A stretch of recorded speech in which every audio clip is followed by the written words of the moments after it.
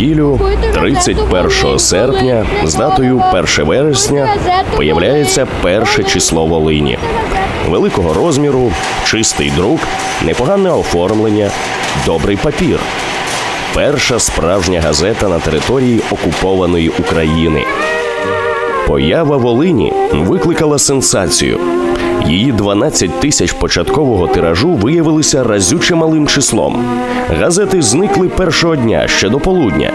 Її не купували, а розхапували. Такого успіху не чекав ніхто, особливо перший редактор часопису Улас Самчук. Після 14 років еміграції він повернувся на батьківщину як автор відомих творів Волинь та Марія. До рівного письменник приїхав сам. Дружина залишилася у Празі, адже не хотіла втратити роботу. Марія Зоц була першим читачем та критиком світових бестселерів. А взагалі-то Самчук попервах збирався до Києва. Це фото зроблено ввечері, в день приїзду. Другий справа Іван Каваларідзе, український скульптор і кінорежисер, а крайня зліва Таня Прахова. Прибувши до Рівного сюди майже одночасно з е, знайомством з Кріпником, започаткуванням цього проєкту із виданням газети і так далі. Е, Вони, він е, тут познайомився із е, знімальною групою Київської кіностудії. В числі членів цієї знімальної групи була Тетяна Чорна, ну її дівоче прізвище, а по чоловікові Прахова. Вона була асистентом режисера Івана Каваларідзе, відомого українського кінорежисера, який власне знімав цей фільм. Е, І відбулось тут знайомство їхнє із Власом Савчуком. Ну і якась оця іскра почуття спалахнула між ними. Любов це перше моє трагічне місце. Я горю щодня і не можу згоріти. Боже, ти безперечно такі речі розумієш і чуєш. Безперечно. Чому ж ніякого розрядження? Марусі ніяких вістей, від Тані ні єдиного звуку. Щастя, трагіка, повно, повно туги, люті, а любов душить мене. Все тому, що я так жорстоко люблю. Письменник неймовірно сумував за Марією Зоц, з якою прожив 10 років. Водночас його серце заполонила нова знайома. Улас її конспірував у щоденниках під літерою Т. Напевне, соромився почуттів до заміжньої жінки. Найближчих декілька місяців стануть нестерпними в його особистому житті.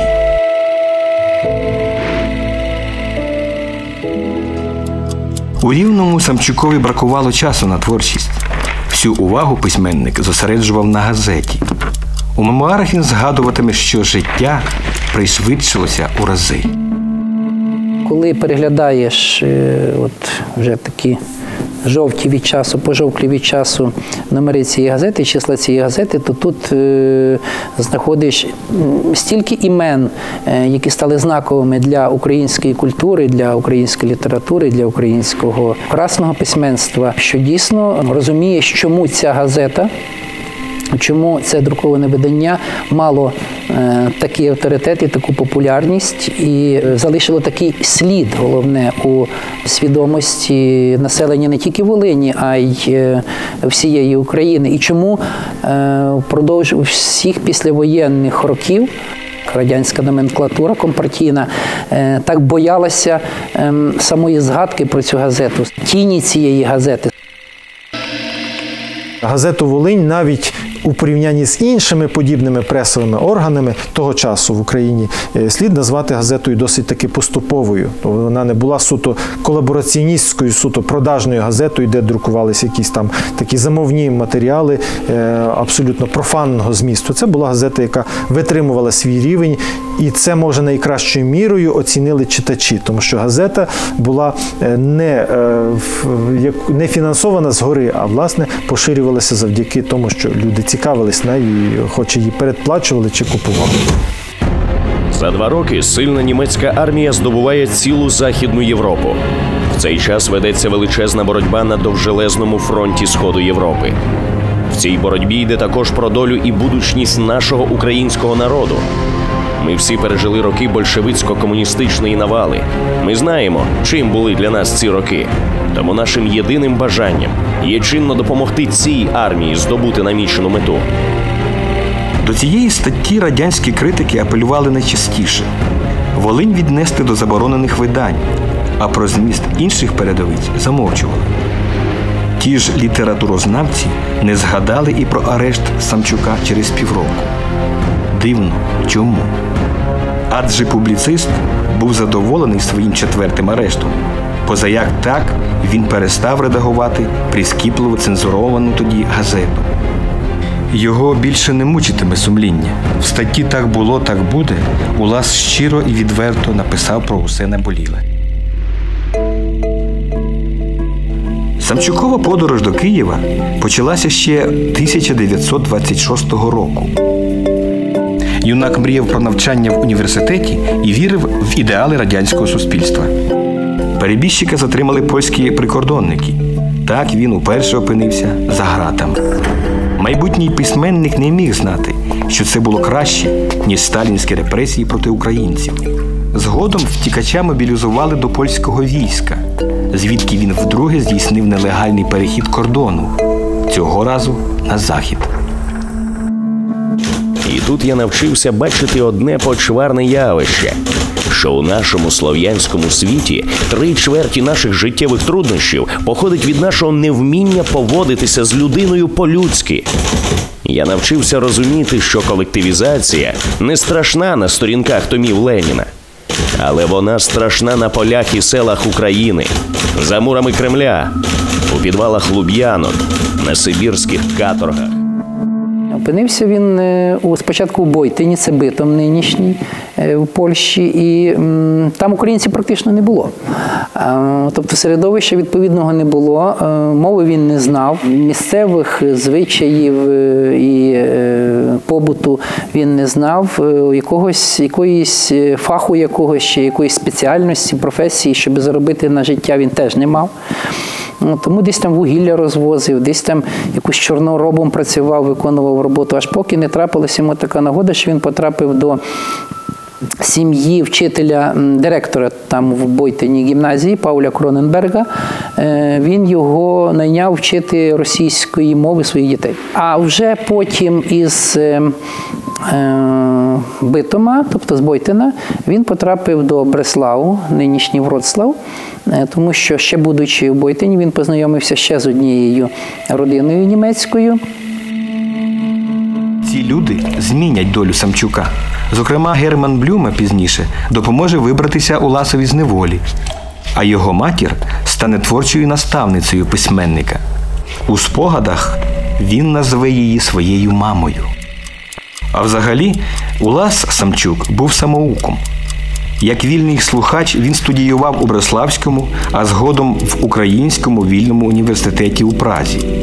Однак ні середньої, ні вищої освіти юнак так і не здобув. Після чотирьох класів Дерманської семінарії він переїхав до Кременця, проте тамтешню гімназію не закінчив, адже мріяв про навчання у радянському Києві.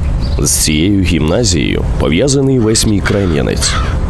У школі я було поринув у вир активності. І не лише навчання, але також життя культурно-громадського, а згодом і політичного. У Крем'янці тоді закладались інституції, творились партії, відбувалися з'їзди. Поляки почали переслідувати та забороняти. Для нас, молодих, не передбачалося ніяких перспектив. Ми намагалися шукати для себе місця поза межами Польщі. Польща була звичайно демократичною державою, але після травневого перевороту 26-го року е, першою особою був маршал Пілсудський. Пілсудський внутрішньо відчував провину перед українцями за Ризький договір. Він вибачився перед інтернованими вояками Української Народної Республіки за те, що він порушив свої зобов'язання. З другого боку, Пілсудський мусив рахуватися своїми опонентами, перш за все з консервативними ендеками е, національна демократія, які виступали з суто шовіністичних позицій, тобто він мусив лавірувати.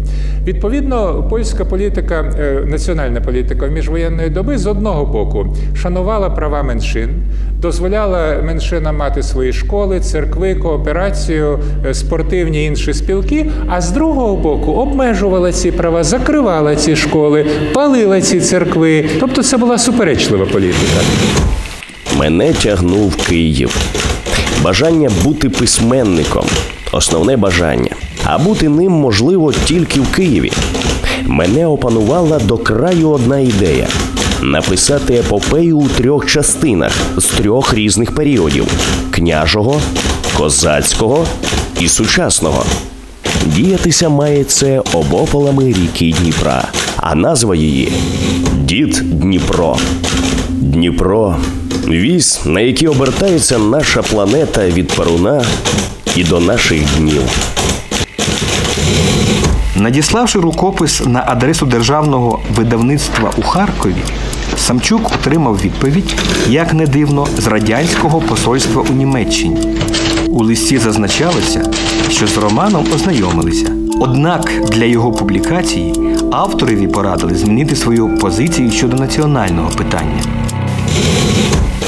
Своїх поглядів не міняю, а лише їх висловлюю. Інакше не буду мати поглядів взагалі, а користатися чужими. Всі мої спроби прорватися до Києва ганебно зникають.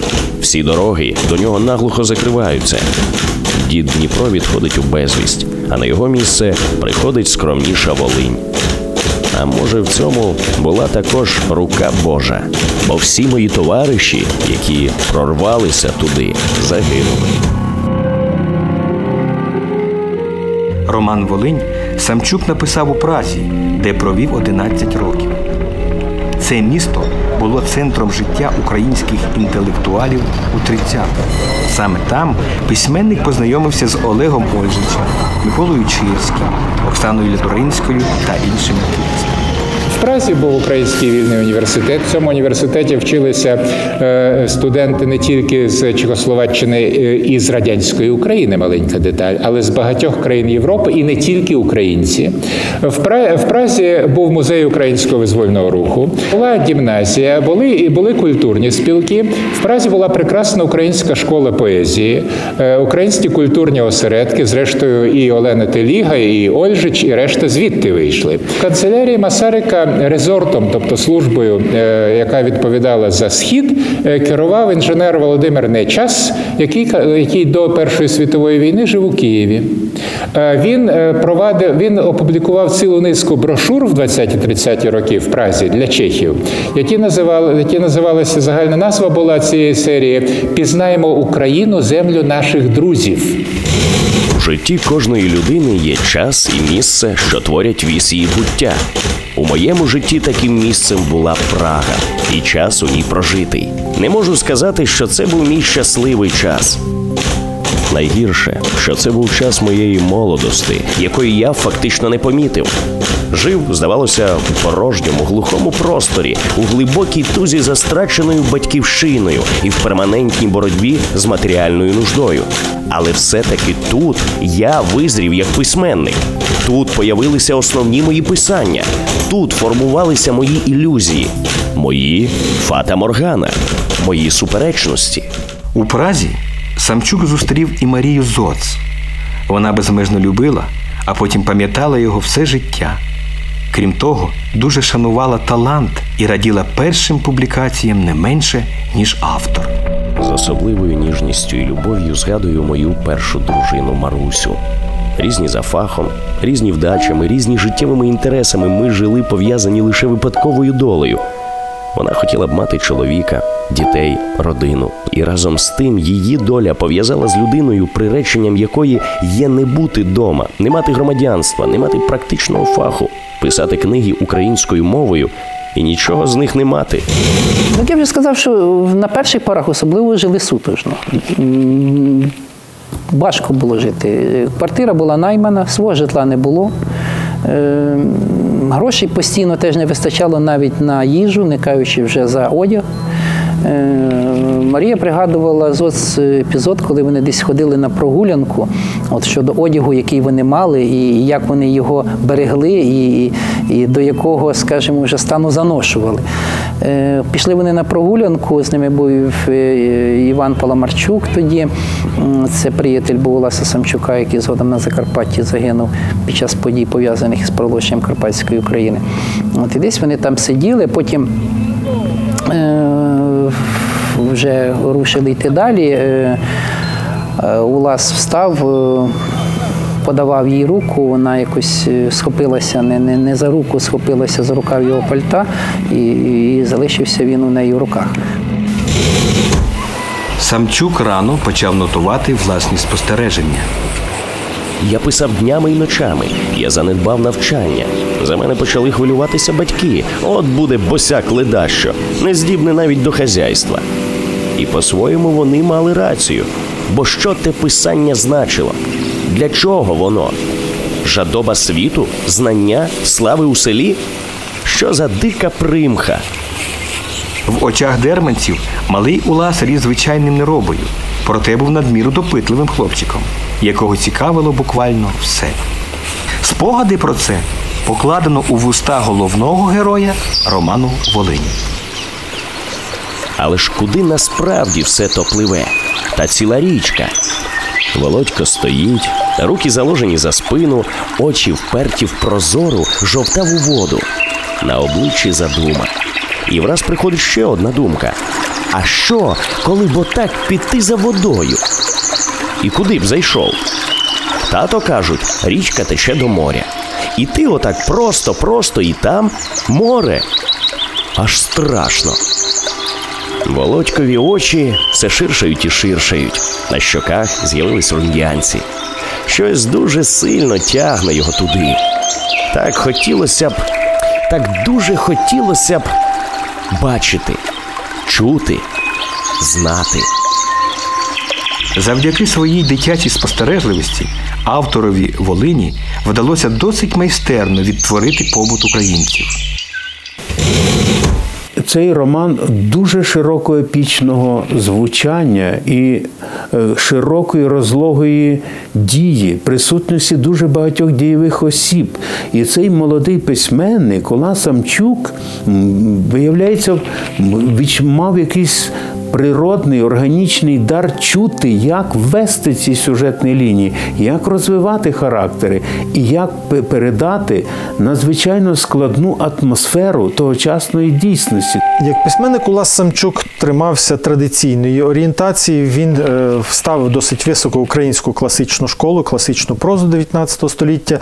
Це для нього був один з орієнтирів творчих. Другим, не менш важливим орієнтиром для е, Уласа Самчука була велика романістика європейська 20-30-х років, зокрема школа е, німецької прози. О, Це Томас Ман, інші письменники німецькі, яким, яких він також високо ставив, тому що це письменники побутописці, письменники, які е, через побут соціальний оцінювали стан нації, стан своєї епохи. Самчук собі так само поставив за мету.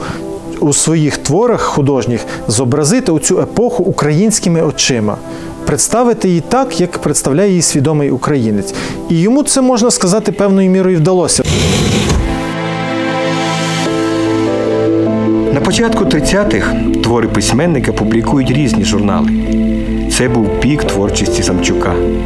За роман Волинь прозаїк отримав першу премію від товариства письменників та журналістів. Тоді ж прийшло і міжнародне визнання. Його твори переклали й іншими мовами.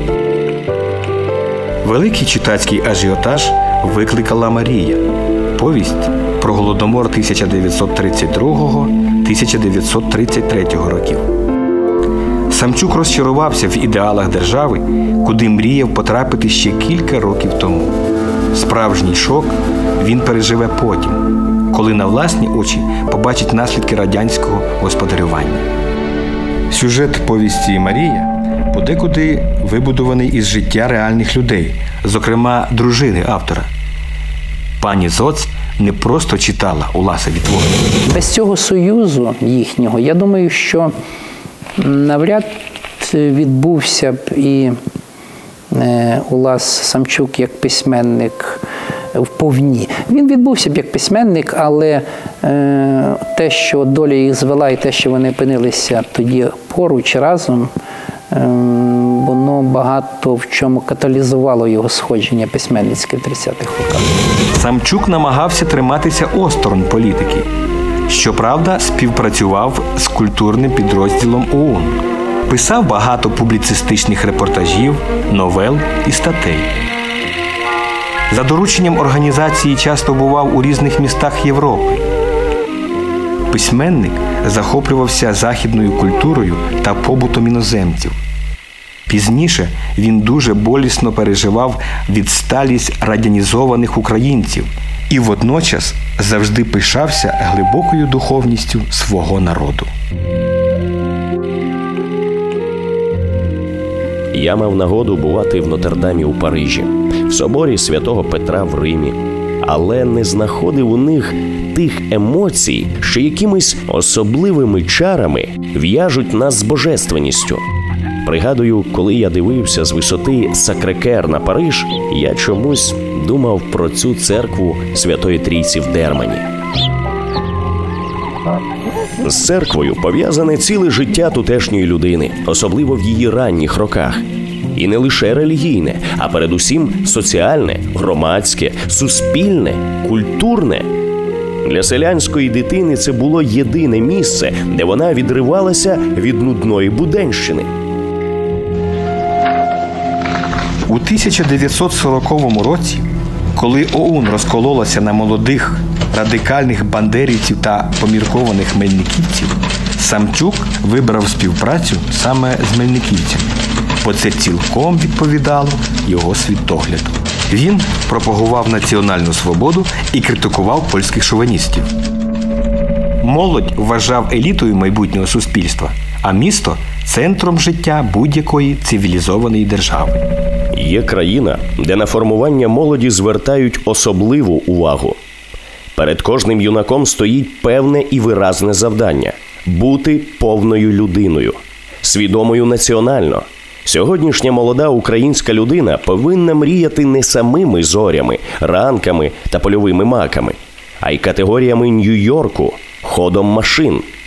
Молода українська людина йде до міста і там пускає коріння. Місто мозок, місто голова, місто динаміка. Самчук, як письменник, був прихильником власне того довготривалого процесу, процесу творення нації через культуру, через освіту, через літературу, прилучення до духовних цінностей. І тому його е, роль в культурній референтурі, його участь в діяльності в культурній референтурі ОУНМ не випадкова. Це реалізація його життєвої, можна сказати, програми, його письменницького покликання. Мені здається, що це цілком органічно вписується в його ідеологічні і громадянські погляди. Найбільшим нещастям українського народу було те, що ціла його історія, перманентне намагання когось зробити з нас не те, чим призначила нас природа. Втручалися до нашої рідної мови, втручалися до нашого побуту. Наслідки з усього цього на сьогодні такі, що населення з національного погляду уявляє собою не що інше, як юрбу, що не належить ні до якого народу, що не має нічого святого. Це не є нарід. У травні 1941-го письменник збирався до Кракова. Для Марії часті поїздки чоловіка були настільки звичними, що вона навіть не проводжала Самчука на потяг. Та розлука стала доленосною для них. У польському місті письменник зустрів Олену Телігу, яка двічі прочитала роман Кулак і давно хотіла познайомитися з автором. Елегантна пані одразу повідала, що уявляла його іншим. Вони швидко потоваришували. На жаль, їхнє спілкування тривало менше року. Вона дивилася мені просто у вічі, ніби хотіла щось розгадати. Розмова тривала далі. І не лише цього дня, а в різних виглядах, місцях і змісті. І ніхто не міг тоді сподіватися, що це буде для нас судьбоносним. Олена вечірньою добою за столиком і чаркою могла безпечно оповісти мені докладно і барвисто свої пригоди, а в тому числі й любовні, яких вона не цуралася, а вважала за своє велике добро. Любила дружбу, ніжність, щирість, приязність і тепло. Перші дні радянсько-німецької війни багато українців переїхали до Львова. Українські активісти обдумували план подальших дій. Самчук, який більше 10 років не був у рідних краях, чекати не став і вирушив до Рівного. Не треба Дніпра. Вистачить Германя, а то й такого дуже вже пісного рівного, навіть у цьому макабричному вигляді. Руїни, машини, німці, нації, головне командування, пропаганда, рейхскомісаріат, табори полонених. І схрещення пристрастей та інтересів наших російських, польських, німецьких, бандерівсько-мельниківських, бульбівських, уенерівських, гетьманських, церкви автокефальної, церкви автономної, митрополита Дениса, митрополита Іларіона, архієпископа Полікарпа, архієпископа Олексія. Де початок? А де кінець? Як втримати рівновагу? І скільки небезпек? Один лише необдуманий крок, і ти падаєш, і більше не встаєш. Влас Самчук приїздить е, сюди в Україну свідомо, зокрема в Рівне, і створює газету Волинь, а також е, створює певну е, мережу через цю газету кольпортерів е, передплатників, е, щоб поширювати свої ідеї. І з цим пов'язані його досить амбітні плани, тому що Влас Самчук прагнув через цю газету розробити властиву газету Волинь трибуною для об'єднання українських сил. От і про це свідчать всі матеріали тієї газети, особливо першого періоду існування. Радянські ідеологи вважали Волинь колабораціоністською газетою. Мовляв, на її сторінках пропагували нацистський режим. Водночас про матеріали патріотичного характеру вони не згадували. Стара істина досить цинічна. Ворог мого ворога мій друг. Німці були ворогами Польщі. Е, На Польщу, до Польщі українці мали претензії. По-друге, е, німці саме за цією засадою поділяє владарю, німці допускали деякі жести щодо українців. Скажімо, в Кракові існував Український центральний комітет. І е, е, хочеш не хочеш, це була колаборація. Можна пояснювати це, але не виправдовувати. Це був колабораціонізм. Інша річ, що це не було винятком. Значно більше колаборували інші європейські країни, в тому числі офіційні уряди цих країн. Скажімо, уряд Франції Віші колаборував і допомагав Гітлеру значно більше, але французи про це не люблять згадувати. І це зрозуміло. В 1924 році за один публічний виступ Адольф Гітлер разом з відомим генералом Людендорфом стає перед судом і його засуджують до в'язниці. Будучи ув'язненим, він працює над своєю відомою книгою, яку він називає Моя боротьба. Вона стає настільною книгою кожного німця. Зі сторінок її б'є фантастична віра і любов до всього, що німецьке, до німецького народу, до німецької батьківщини.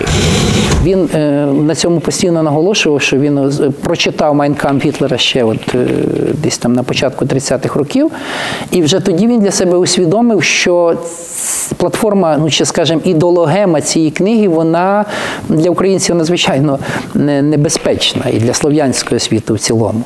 Е, Тому чекати, якщо е, в основу німецької політики на сході, нацистської політики на сході буде покладено ідеї Майнкамп, чекати українцям особливо чогось не доводиться. Тобто на це він дивився досить тверезо.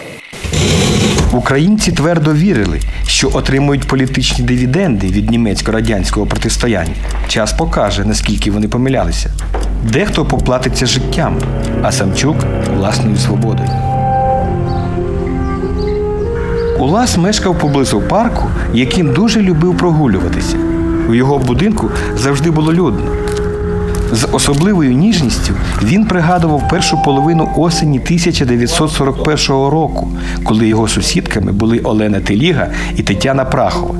Жінки швидко знайшли спільну мову. А під час гарячих суперечок між Самчуком і поетесою майбутня дружина була посередником. Ми з Оленою, хоч і різалися в поглядах, ніколи не розходилися остаточно. Нас в'язало щось багато міцніше, ніж погляди. Бо, хоча і доходило до такого, коли Олена не витримувала, вдаряла енергійно по столу своїм маленьким кулачком, заїкаючись від хвилювання, заявляла, що її нога більше не ступить на цей поріг. Але це не ступить не тривало довше, як одну ніч або кілька годин. Бо вже другого ранку ми зустрічалися на нашій спільній веранді з докірливо кокетливими посмішками, щоб за хвилину сидіти за спільним столом. Восени 1941-го українська інтелігенція згуртувалася в Києві, який був під особливим контролем німців. Туди кликали й Телігу та Самчука. Проте Булас залишився в Рівному, адже був дуже заклопотаний. До Києва поїхали лише Олена із Тетяною. Однак через декілька днів туди вирушив і письменник.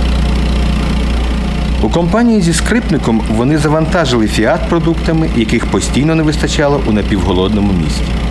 Письменник не здогадувався, що Київ буде уже зовсім не таким величним, яким завжди його уявляв. Господи Боже, на що він був тоді подібний? Гори руїн і звалищ, Помпея над самим Дніпром. Хрещатик обернувся в звалища грузів.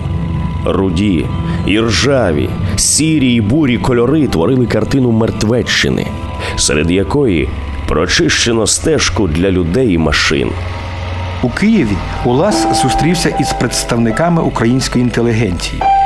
Першого дня він побачив Олену Телігу, дещо пізніше розшукав і Тетяну. Її життя було зруйноване вщент. Чоловіка мобілізували до війська, а доньку вивезли на схід. Від обох не було жодної вістки. Нещасна жінка ледь зводила кінці з кінцями, отримуючи мізерні гроші на посаді помічника режисера. Улас і Тетяна провели багато часу разом, допоки не з'явився чоловік Андріан. Йому пощастило вирватися з полону. Ця несподіванка збентежила двох людей. У Києві залишатися було ризиковано, про що добре знав Самчук. Тим паче на сторінках популярної Волині редактор вже два місяці успішно друкував статті про українського змісту. Поки що він мав таку змогу. До того ж, рівне було безпечнішим. Наша редакція в нашому просторі була тоді центром політики значно ширшого розміру і засягу, ніж інші формальні політичні угруповання.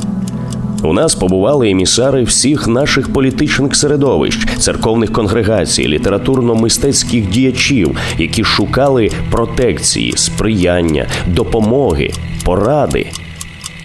Редакторська праця приносила задоволення і радість. Водночас Самчук дуже сумував за дружиною, що залишилася у Празі, і думав про Таню з Києва.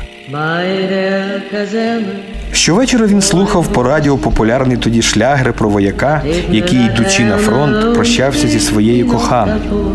Недавно у київському сквері вони також пообіцяли більше не зустрічатися і забути одне одного назавжди.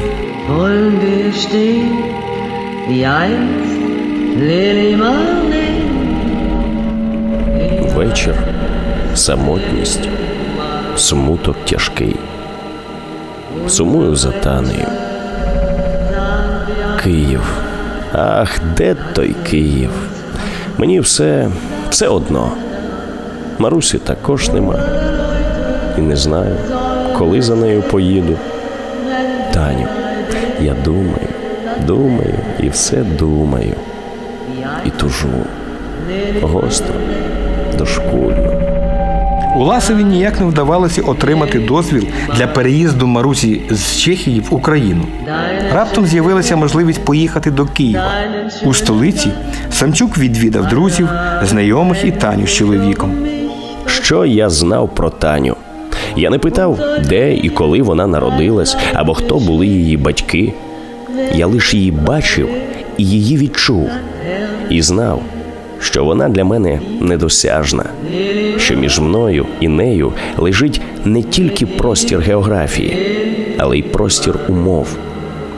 Дарма, що між нами стояла велична сила магнетизму, для якої, здавалось, не існує ніяких віддалей і ніяких умов, яка єднала нас нерозривною силою гравітації в просторі нашого космосу. В останній день свого гостювання у Києві Самчук знову відвідав Прахову і поцікавився, чи не поїде вона разом з Оленою. Тетяна відмовила зі зрозумілих причин. Вони вкотре пообіцяли більше не зустрічатися. Улас із почуттям великої порожнечі та безнадії повернувся до рівного. І здавалося б, що от е, у вирі цих почуттів на цьому нерві е, дуже важко було давати собі раду з тією політикою, з тією журналістикою і з тими всіма обставинами, які тут були непростими в рівному. Але можливо, це якраз оце. Оцей дійсно нерв такий, і е, це, це максимальне оце якесь піднесення нерв, нервової напруги, душевне піднесення, яке тоді тримало Самчука на, на грані лихоманки. Це видно із його щоденників кінця там 41-го, початку 42-го років. Оця екзальтація максимальна. Можливо, це десь сприяло і якомусь творчому виплеску.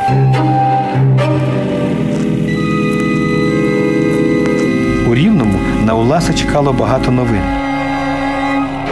Тут вже активно урядувала цивільна адміністрація Райскомісаріат України. Зокрема, німці закрили школи. Посилювалася цензура. Проте Самчук не змінював тональності статей.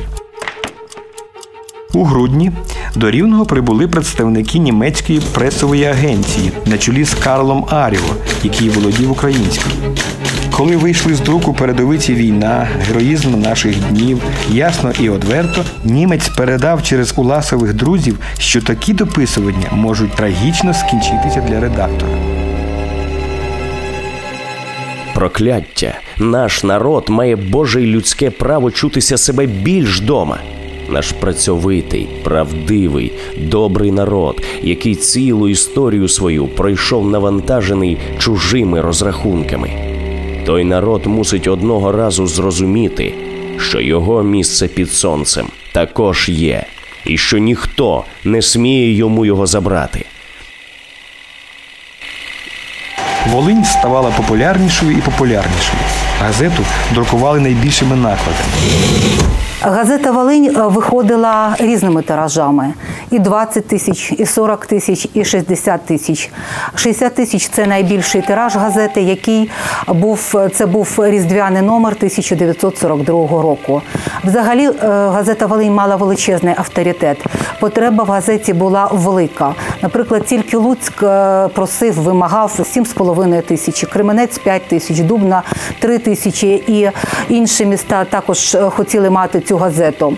Е, Газета, розповсюджуючись не тільки е, на Рівненщині, але і Житомирській, Тернопільській, Хмельницький. Е, Миколаївській, Дніпропетровській областях, е, в Києві, е, в- Білорусі. Вона в той час, коли ще не діяли поштові уряди, не була не було сталої адміністрації. Вона ця газета, виходячи такими великими тиражами, вона заповнювала собою велику пропагандистську інформаційну нішу і мала великий комунікативний резонанс. Після свят Самчук традиційно багато працював. Котрогось дня до кабінету зайшов здоровезний німець. Улас глянув на нього і ледь не втратив дар мови. Це був Герман Блюме, його друг часів Бойтина і Бреславля. Виявилось, що він дістав призначення директора цивільної поліції на весь райхскомісаріат. І завдяки тій самій російській мові, якої він учився від мене. Його мати наполегливо добивалася дипломатичної кар'єри. Але у нього це не виходило з його дуже недипломатичною вдачею. Герман Блюме поселився у будинку Самчука. Як і в студентські роки, вони дискутували на різні теми. Найчастіше вели мову про політику. У січні рейскомісар України Еріх Кох видав розпорядження про цензурування всіх пресових видань. Німці вимагали перекладати статті і збиралися переглянути дозволи на діяльність видавництв. Цікаво, що документ опублікували на останній сторінці Волині, яка починалася з проукраїнської передовиці. 22 січня 1918 року на площі Святої Софії Києва був прочитаний документ, яким було стверджено, що український народ виявляє і твердо документує волю бути незалежним і бути вільним у всіх відношеннях, так як це розуміє мешканець найвідомішого континенту Європи. Бути вільним і суверенним у правах і обов'язках це не мрія, це конечність кожної людини.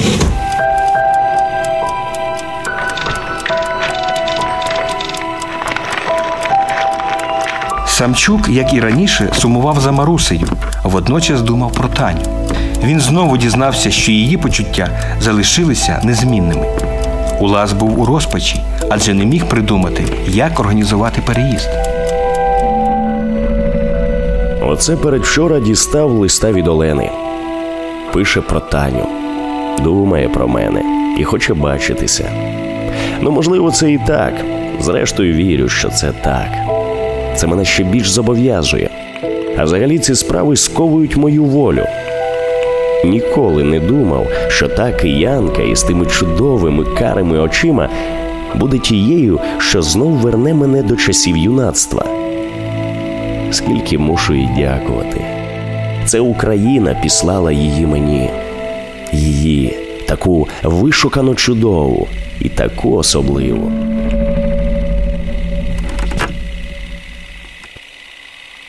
Якось увечері Самчук прийшов додому, де його чекала Таня. Так один знайомий німець виконав свою обіцянку.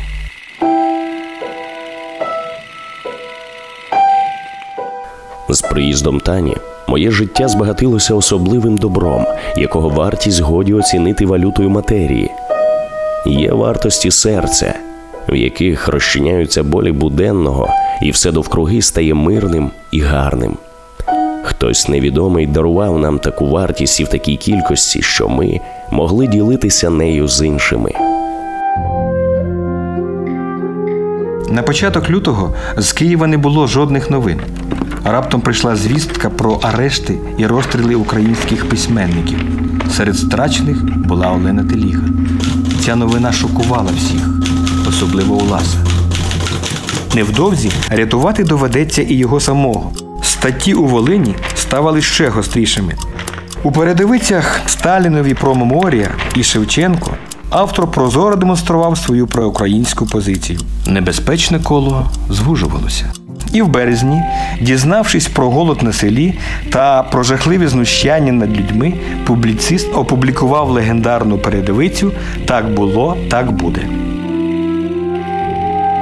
Страта Олени Теліги, і українських письменників для Самчука це була дуже болюча втрата, бо Олена Теліга була близькою його подругою, ідейною однодумицею, і це, мабуть, дуже сильно вплинуло на зміну його поглядів. Самчук переконався, що е, німці не та сила, за допомогою якої можна буде відродити Україну. І тому написання цієї статті це певною мірою е, таке рішення для себе, це певною мірою звіт сумління власного. Е, Мені здається, що Самчук, мабуть, не дуже передбачав, що за це можуть бути такі наслідки, які були. Ні, не все одно, як і коли треба прислухатися до думки українського народу. Бо український народ, як і всі решта народів нашого континенту, має свою гордість, має свої життєві потреби. І горе тим, які хочуть їх так чи інакше заперечити. Україна це жива, діюча дійсність, яка домагалася права і яке їй по глупоті завжди відмовлялося. А без того права не може бути здоровою ціла Європа. Все одно як людське тіло без відповідних вітамінів. Так було, так є і так буде. Цей наклад Волині конфіскували, хоча деякі номери потрапили до рук читачів. Невдовзі Уласа арештували. У рівненській буцегарні поява письменника стала гучною подією.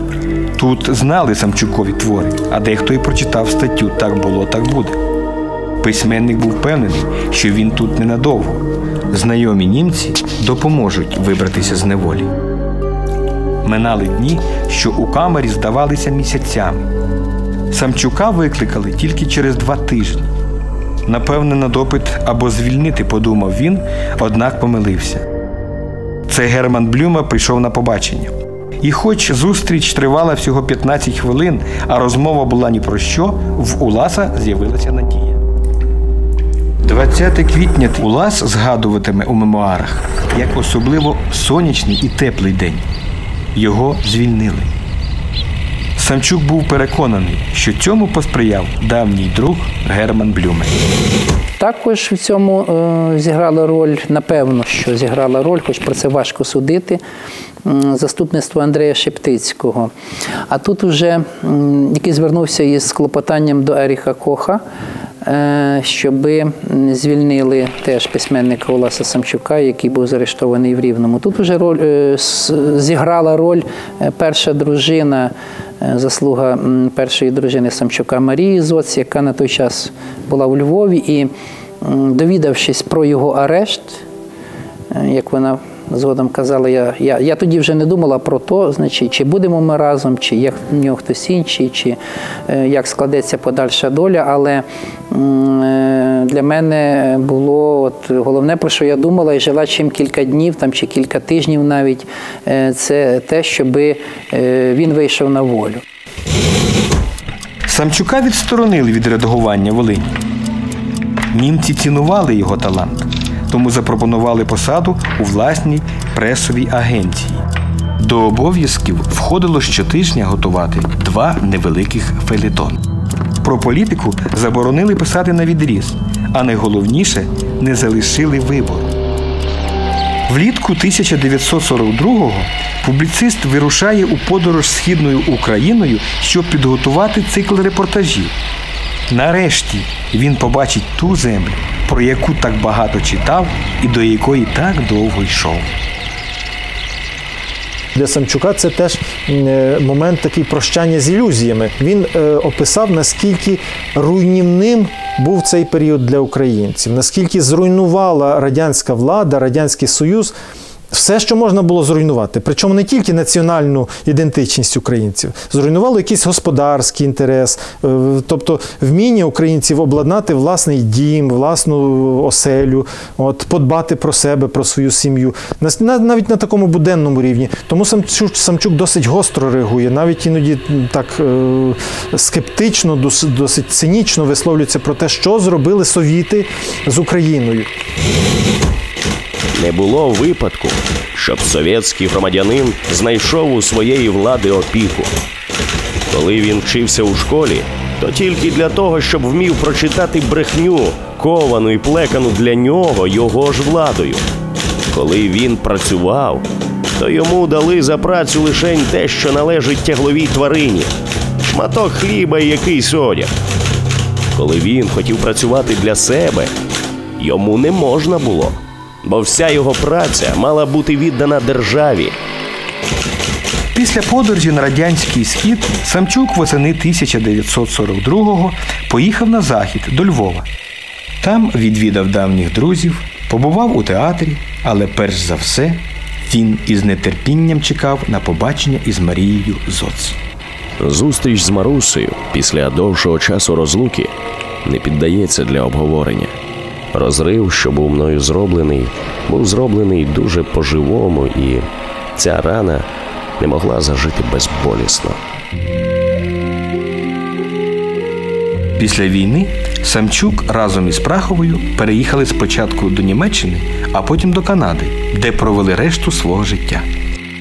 Улас дописав незакінчену трилогію Ост, ще декілька романів та мемуарних творів. Бувало таке, що змушений був шукати, бо цього не вистачало, е, мусив шукати якусь роботу. Е, Причому роботу досить таку ну, не, зовсім підходящу для літератора і для людини, яка мала ім'я таке в українській спільноті. От, наприклад, 60-річчя він відзначив, каже, були імпрези, там казали гарні слова е, йому представники української громади. Але після того він змушений був іти найматися прибирачем в якусь там установу. Бо е, засобів до існування у нього на той час не було. І вони дивувалися, що приходять до нього земляки і пошановують його, бо там ще десь шлейф ішов, оцей ювілей, і пошановують його як відомого письменника, а він прибиральником працює. Вони е, казали, у нас на цій посаді працюють тільки люди, які вже ні до чого не здалі. А тут, якщо ви такий знаний письменник і така е, відома людина серед своїх земляків, чому тоді вони вам не допоможуть інакше? Потребуємо думати як демократ, як аристократ, як революціонер, як консерватист, як соціаліст, як націоналіст одночасно. Не лякаємося такого думання, лякаємося думати виключностями. Нам потрібно не так партій з їх вивітреними ідеологіями, як мудрих, синтетично думаючих людей. Пригадую один із нарисів автобіографічних Самчука, в якому він себе ідентифіку- ідентифікує як літописець свого простору. Для Самчука важливо е, письменнику бути літописцем свого простору. Ну, такий простір це, очевидно, е, інакше сказати свого народу, своєї території, своєї країни, України в цьому випадку. Отже, Самчук окреслює на умовній карті світу Україну як таку, причому це не матеріальна Україна, як ми би тепер могли уявляти собі, маючи перед собою мапу України. Це Україна духовна. Для нього Україна це е, система духовних цінностей, це е, певний такий ідеальний, е, ідеальний координат у світі, якого треба триматися. І з цього починається Самчук як письменник, і на цьому можна сказати, він завершується. Упродовж усього закордонного життя Улас Самчук уважно стежив за подіями у Радянському Союзі. Він, як і багато інших емігрантів, вірив, що Україна здобуде незалежність, та при його житті це залишилося тільки мрією.